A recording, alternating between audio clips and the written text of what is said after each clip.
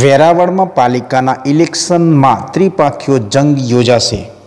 ભાજપ કોંગ્રેસના અપક્ષ સહિત ત્રણ અપક્ષ મેદાને ભાજપ કોંગ્રેસ પક્ષ દ્વારા ટિકિટની વહેંચણીમાં નારાજ ઉમેદવારો દ્વારા અપક્ષના ઓથા હેઠળ ફોર્મ ભરી ત્રીજો મોરચો રચાયો છે. વેરાવળમાં ભાજપ દ્વારા પૂર્વ પાલિકા પ્રમુખ, પૂર્વ ઉપપ્રમુખને છેલ્લી ઘડી સુધી ટિકિટ આપીશું આપીશુંની લાહણી આપી આખર ઘડીએ પાર્ટી દ્વારા ટિકિટ વિહોણા કરી પૂર્વ પ્રમુખ, ઉપપ્રમુખને ભાજપ દ્વારા ટિકિટ ના અપાતા બંને ઉમેદવારો દ્વારા આખરે અપક્ષનો સહારો લઈ વોર્ડ નંબર એક અને વોર્ડ નંબર સાતમાં બે પેનલ ગોઠવી ભાજપ સામે આઠ ઉમેદવારો મેદાને આવતા ભાજપમાં પણ હડકંપ મચી ગયો છે.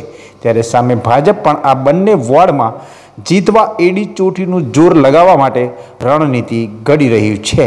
બીજી તરફ ભાજપમાં ટિકિટની વહેંચણીમાં પણ પરિવારવાદ અપનાવી પોતાના સગા સંબંધીઓને ટિકિટ આપી હોય તેવી ચર્ચાઓએ પણ જોર પકડ્યું છે. ત્યારે પ્રચાર પ્રસાર પણ તેવો થઈ રહ્યો છે. ત્યારે હવે જોવાનું એ રહેશે કે બંને વોર્ડમાં જનતા કોની સાથે રહે છે અને સત્તાની ગાદી કોને સોંપે છે અને કોને ઘર ભેગા કરે છે તે જોવાનું રહ્યું.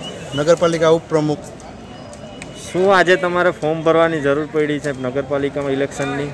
ભાજપ પક્ષે અમને એમ કીધું કે તમને ટિકિટ આપશો. છેલ્લી ઘડીએ એમ કીધું કે તમે હવે હાલશો એમ નહીં ને લોલીપોપ જ આપી છેઠ સુધી.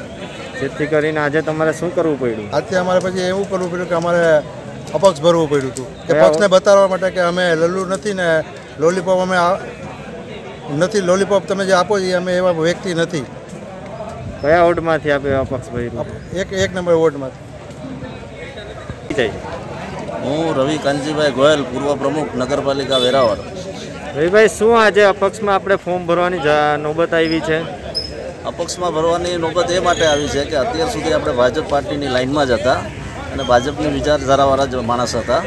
અને ભાજપે અમને અત્યાર સુધી છેક સુધી જે લોલીપોપ આપી કે ભાઈ તમે ટિકિટમાં ફાઇનલ છો ફાઇનલ છો ફાઇનલ છો.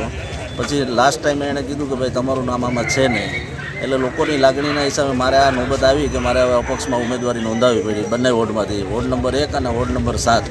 જેમાં વોર્ડ નંબર એકમાં અમારા પૂર્વ ઉપપ્રમુખ ઉદયભાઈ શાહ અને તેની પેનલમાં ત્રણ બીજા અન્ય ઉમેદવાર છે અને મારી મારા વોર્ડમાં વોર્ડ નંબર સાતમાં હું અને મારા ત્રણ ઉમેદવારો સાથે અમે લડીએ છીએ.